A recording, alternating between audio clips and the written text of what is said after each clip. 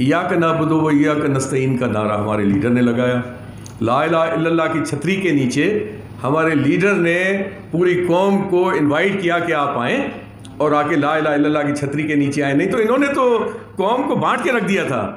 یہ سندھی یہ مہاجر یہ پنجابی یہ پٹھان یہ اس کا حق کھا گیا یہ اس کا حق کھا گیا۔ اس طرح سے کر کے انہوں نے ایک نفرت کی خلیج بنا دی تھی۔ میری آج آپ سے آپ کے ذریعے عوام تک یہ ایک پیغام ہے کہ عمران خان کے حق میں آپ سب اٹھ کر بآواز بلند یہ پیغام دیں کہ آپ کچھ نہیں بلکہ آپ کو یہ اب یہ پاکستان کی یہ جو جبری قبضہ ہے یہ خالی کرنا پڑے نظر میں لیکن پی ٹی آئی ان سے ڈسپینٹل ہو نہیں سکی۔ اس کا واضح ثبوت یہ تھا کہ پی ٹی آئی کا جب سمبل چھینا گیا، جس کے اوپر ایک فل بینچ کی ججمنٹ بھی موجود ہے، جس میں انہوں نے بے نظیر بھٹو کیس میں انہوں نے طے کیا ہوا تھا کہ یہ جو سمبل ہے، یہ پارٹی کی ملکیت نہیں ہے؟ سپریم کورٹ نے آٹھ پانچ کے تناسب سے جو ایک ججمنٹ دی ہے، جس میں پولیٹیکل سیناریو بہت حد تک چینج ہوا ہے۔ اور آئندہ کے لیے خوشائند باتیں یہ پیدا ہوئی ہیں کہ بہت ساری چیزیں اب اور زیادہ تیزی کے ساتھ اپنی اصل شکل میں ظاہر پاکستان کی عدلیہ نے جب اپنا رویہ تبدیل کیا اور یہ خوشائند چیزیں بیدار ہونا اور پیدا ہونا شروع ہوئیں کہ جب عدلیہ کے کچھ جید لوگوں نے اپنی شکایتیں مقتدر حلقوں تک اور ان جگہوں پہ پہنچانی شروع کی۔ بسم اللہ۔ بسم اللہ الرحمن الرحیم۔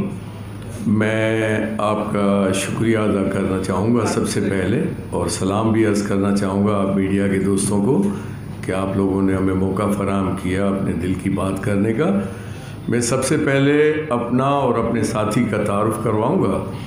میں ریٹائرڈ جسٹس سینئر پیونی جج Islamabad high court Noor الق قریشی آپ سے عرض کر رہا ہوں اور پورے ملک کے عوام سے میں مخاطب ہو کے کچھ پیغام دینا چاہتا ہوں۔ میرے دوست، میرے ساتھ بیٹھے ہوئے ضیاء اللہ صاحب ایڈوکیٹس یہ اس وقت آئی ایل ایف کے وائس پریزیڈنٹ ہیں۔ وائس پریزیڈنٹ اسلام آباد کے اور میں در حقیقت سندھ میں، کیونکہ میرا تعلق سندھ سے ہے، تو میں سندھ میں سینئر وائس پریزیڈنٹ کے طور پہ اس وقت کام کر رہا ہوں، پی ٹی آئی کی طرف سے۔ پی ٹی آئی کے مختلف عہدوں پہ رہا ہوں۔ میں پی ٹی آئی میں سندھ کا الیکشن کمشنر بھی متفقہ رائے سے منتخب ہوا تھا۔ جو الیکشن کروائے تھے، اس میں میں اپلیٹ اتھارٹی بھی تھا اور میری ایک اس میں ڈیسیشن بھی ہے۔ آج کا جو موضوع ہے، اس میں اہم جو عنصر، اہم چیزیں ہیں وہ ان کا تعلق خوشی سے اور غم دونوں چیزوں سے ہے۔ خوشی اس طرح کہ پاکستان کی عدلیہ نے جب اپنا رویہ تبدیل کیا اور یہ خوشائن چیزیں بیدار ہونا اور پیدا ہونا شروع ہوئیں کہ جب عدلیہ کے کچھ جید لوگوں نے اپنی شکایتیں مقتدر حلقوں تک اور ان جگہوں پہ پہنچانی شروع کی کہ عدلیہ کے ساتھ کس قسم کا برتاؤ ہو رہا ہے۔ اس کے بعد سے عدلیہ کو ہوش آیا کہ اگر اب آئین کی پاسداری نہ کی گئی تو ہو سکتا ہے کہ اب عوام کے دلوں میں اور ذہنوں میں کچھ ایسے غلط قسم کے جذبات آئیں لہٰذا محسوس یہ ہوا کہ عدلیہ نے اپنا قبلہ درست کرنا شروع کر دیا۔ میں کیونکہ خود عدلیہ سے تعلق رکھتا ہوں اور اہم جز رہا ہوں عدلیہ کا، لہٰذا مجھے عدلیہ کے بہت ساری باتوں کا علم ہے۔ جو جس جگہ انسان رہتا ہے، اس کی بہت ساری چیزوں کا اسے علم ہوتا ہے۔ تو میں بھی ان اس جگہوں پہ ساڑھے پانچ سال تک میں رہا ہوں ادھر اسلام آباد ہائی کورٹ میں اور ظاہر ظاہر یہ بہت ساری چیزیں دیکھی ہوں گی، ان کا بیان کرنا یہاں پہ لازم نہیں ہے۔ لیکن عدلیہ مشکلات کا شکار پورے ہمارے پاکستان کے وجود میں آنے سے اب تک رہی ہے اور کب تک رہے گی؟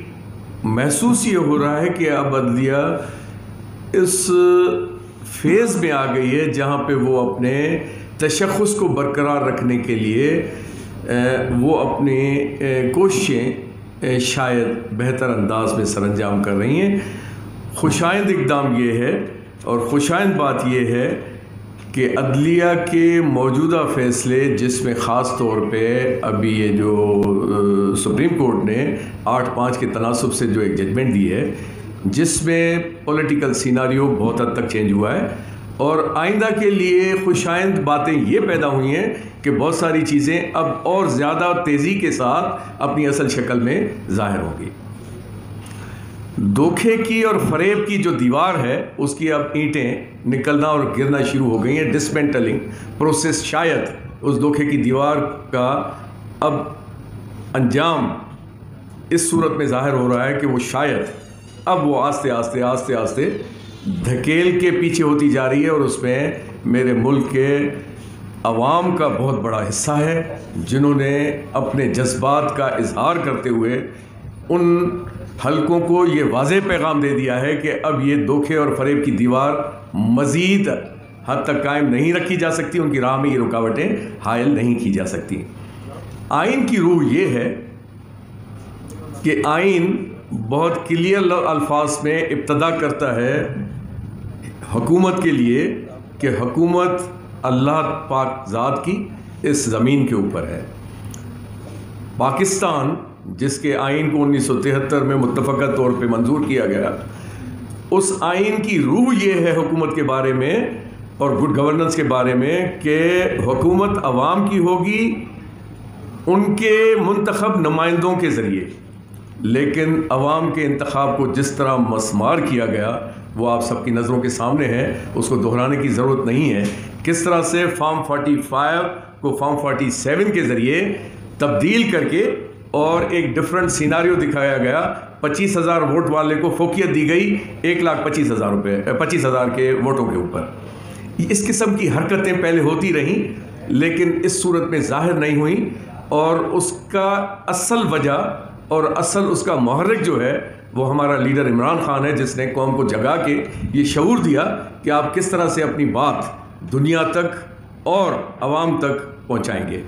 اس کا واضح ثبوت میں آپ کو یہ دوں گا کہ جب پی ٹی آئی کو مل کر بہت سارے حلقوں نے ڈر اور خوف کی وجہ سے یا اپنے ذاتی مفادات کی وجہ سے پی ٹی آئی کو ٹوٹلی ڈسمنٹل کر دیا گیا تھا ان کے اپنے نظر میں۔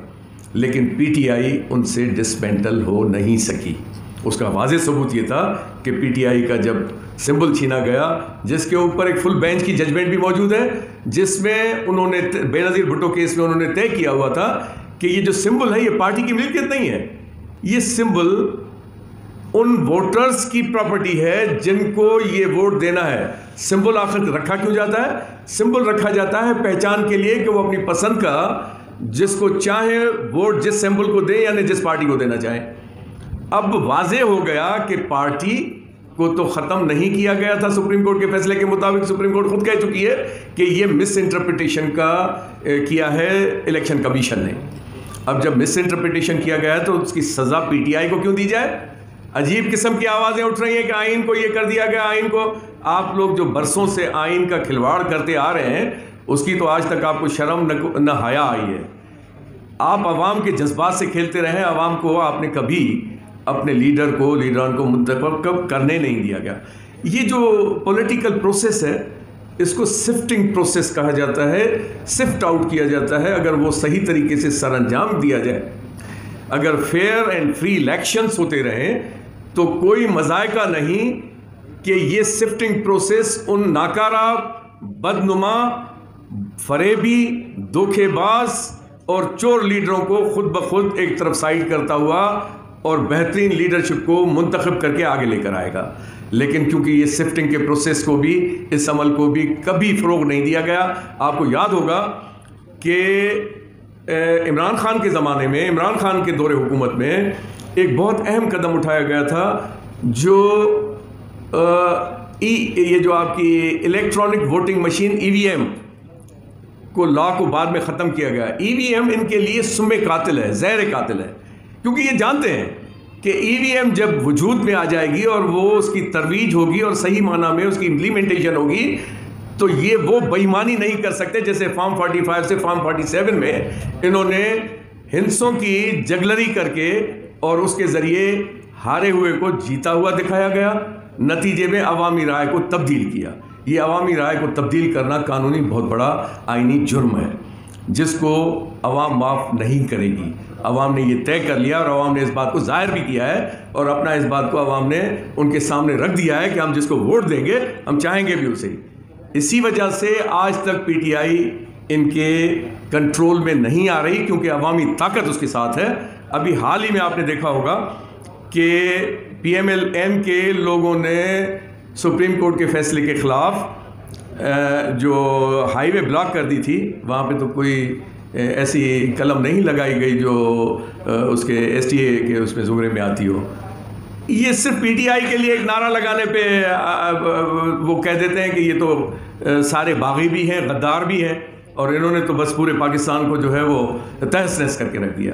یہ فقط ڈر اور خوف پیدا کرنے کے لیے یہ کیا جاتا ہے، لیکن اب کیونکہ پی ٹی آئی کے بہت سارے لوگ جیلوں میں رہ کر باہر آنے کے بعد انہیں پتہ چلا ہے کہ یہ ڈر اور خوف کی فضا زیادہ تر دیر تک قائم نہیں رہ سکتی۔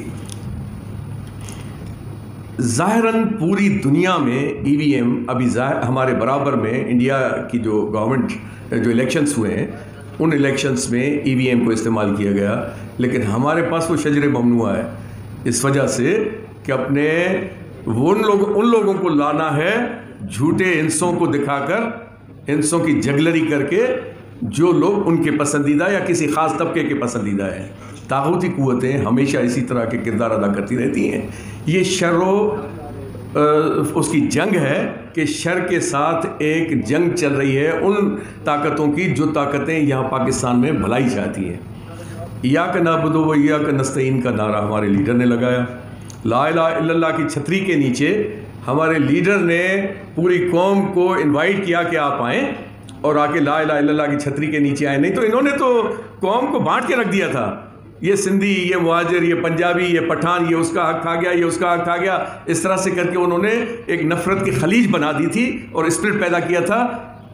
وہی پرنسپل ڈیوائڈ اینڈ رول والا انگریزوں والا جو وہ آج تک گورن کرتا رہا اور اس کے ذریعے انہوں نے پورے طبقات کو جس میں ایتھنک نہ صرف ایتھنک بلکہ زبانی یہ وہ مختلف قسم کی چیزیں ملا جلا کے، رد عمل بنا کے، جھوٹے واقعات گھڑ کے، جھوٹے واقعات بنا کے، لوگوں کو متفر ایک دوسرے سے کر کے اور نفرت کی خلیجیں بنا کے لوگوں کو ایک دوسرے سے دور کر دیا گیا۔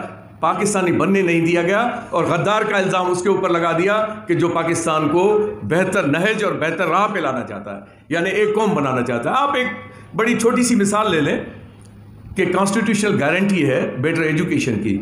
اسلام آباد لاہور، کراچی، حیدرآباد یا مختلف بڑے بڑے شہروں میں تعلیم کا معیار ایک ہے اور جب آپ تھوڑے سے نواحی علاقوں میں جائیں گے تو تعلیم کا معیار کچھ اور ہے۔ وجہ وجہ یہ کہ ان کو ووٹر اور غلام چاہیے جن کو ایک محدود حلقے کے اندر رکھا جا سکے۔ اور تعلیمی درس گاہوں سے صرف وہ لوگ نکل سکیں جو ان کے پسندیدہ، جو عمل ہے اس کے اوپر چلے، ان کے پسندیدہ پروگرامنگ کو ترویج دیں۔ یہ پورا ہمارے پاکستان، اس کے نظام کا ایک، جبکہ عمران خان نے اس کے لیے بڑا بہترین حل پیش کیا تھا کہ تعلیم ہر جگہ ایک جیسی یکساں ہونی چاہیے۔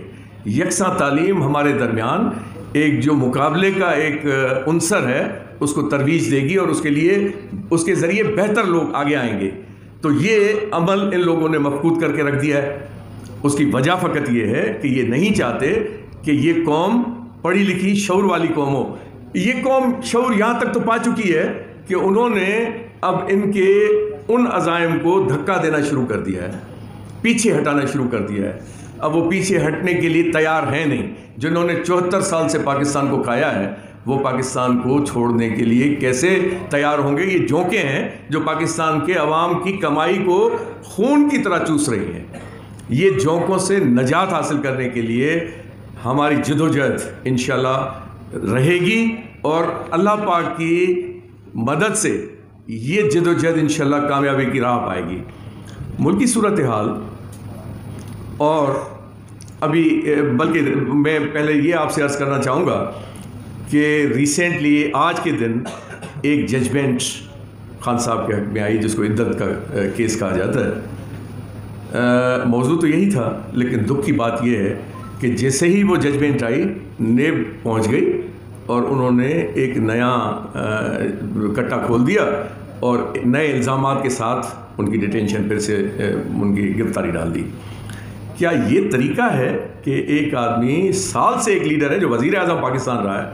وہ جیل میں ہے جب عدالتیں اس کے لیے پازیٹیو رول دے رہی ہیں اور وہ عدالتیں اس کے حق میں جب فیصلے دے رہی ہیں، تو پھر اس کے لیے نئے کیس تخلیق کیے جائیں۔ یہ طاقتی قوتوں کا، شیطانی قوتوں کا یہ کام ہوتا ہے۔ شیطانی قوتیں میں انہیں کیوں کہہ رہا ہوں؟ کہ میں نے ان کے کالے چہرے اپنے آنکھوں سے دیکھے ہیں۔ جب میرے پاس کیس آتے تھے تو میں بہت ساری چیزیں نوٹ کرتا تھا۔ مجھے احساس تھا کہ یہ لوگ پاکستان کے عوام کے کبھی بھی ان کے حامی نہیں رہے، بلکہ عوام کو دھوکے دے کر اور عوام کو اس کے اوپر مسلط رہنے کے لیے کوئی نہ کوئی رستہ نکالتے ہیں۔ لہٰذا ابھی دکھ کا یہ عالم ہے، اور میں نے پہلے ہی جیسے آپ سے عرض کیا کہ یہ پوری قوم اس بات پہ دکھی ہے کہ آخر یہ کیا مذاق ہے کہ ایک لیڈر کو جب عدالتیں چھوڑ رہی ہیں تو آپ لوگ اس کے اوپر کیس داخل کر رہے ہیں۔ میرا ثناء اللہ کی وہ بات آپ کے گوشے گزار کروں گا، بلکہ آپ کو یاد دلاؤں گا کہ کیسز تو بہت ہیں۔ ہم چاہیں تو زندگی بھر نہیں نکل لیتے عمران خان کو۔ کیوں بھائی؟ یہ آپ کے اس میں ڈومین میں آتا ہے کہ آپ ڈیسائیڈ کریں کہ آپ کس آدمی کو جھوٹے کیسوں میں کتنے اس بات سے ثابت ہے کہ یہ جھوٹے کیس بنانے کے ماہر ہیں۔ ان کو اتنی اس بات میں مہارت حاصل ہو گئی۔ پہلے ایک دوسرے کے اوپر جھوٹے کیس کرتے تھے، اب دونوں جھوٹے ایک ساتھ مل کر اس اصلی اپنی مخالف پارٹی کے خلاف یا جو حقیقی اپوزیشن ہے، اس کے خلاف اب وہ جھوٹے کیسوں کی بھرمار لگا رکھی ہے۔ اب دو جھوٹے مل گئے۔ پہلے دو جھوٹے ایک دوسرے کے خلاف کرتے تھے۔ اب وہ دونوں جھوٹے جنہوں نے بہت بڑی تربیت حاصل کر لی جھوٹے کیسوں کی، اب وہ ایک کے خلاف استعمال کر رہے ہیں۔ تو بہرحال، اب یہ سکڑتی جا رہی ہیں یہ چیزیں۔ دنیا نے بھی اس کی نوٹس لینا شروع کر دیا ہے۔ اور امید اللہ کی ذات میں یہ ہے کہ یہ اسی طرح دنیا میں ذلیل و خوار ہوتے رہیں گے اور ان کو انہی بدنما نظروں سے دیکھا جائے گا کہ ان کے پاس اب عزت کوئی بھی نہیں رہی ہے، نہیں رہی ہے اور یہ دنیا میں اب منہ دکھانے کے لائق کسی کو بھی نہیں رہے ہیں۔ جھوٹ بول بول کے، بول بول کے اب عوام بھی ان کے جھوٹوں سے تنگ آ چکی ہے۔ اور انشاءاللہ اب وہ دن قریب ہیں کہ جب عوام کی حقیقی حکومت اور حقیقی جمہوریت کی صورت میں پاکستان میں آئے گی اور پاکستان خوشحال ہوگا، کیونکہ جب تک پاکستان پولیٹیکلی اسٹیبل نہیں ہوتا، جب تک آپ معاشی اسٹیبلٹی پاکستان سے کبھی بھی متوقع نہیں توقع نہیں کر سکتے۔ لہٰذا میری آج آپ سے آپ کے ذریعے عوام تک یہ ایک پیغام ہے کہ عمران خان کے حق میں آپ سب اٹھ کر بآواز بلند یہ پیغام دیں کہ آپ کچھ نہیں بلکہ آپ کو یہ اب یہ پاکستان کی یہ جو جبری قبضہ ہے یہ خالی کرنا پڑے گا اور پاکستان کی حکومت عوام کو دینی پڑے گی جو آئین میں درج ہے۔ تو یہ پیغام دینا تھا پوری قوم کو اور آج یہ دکھ کا اظہار بھی کرنا تھا اور خوشی کا ایک موقع بھی تھا۔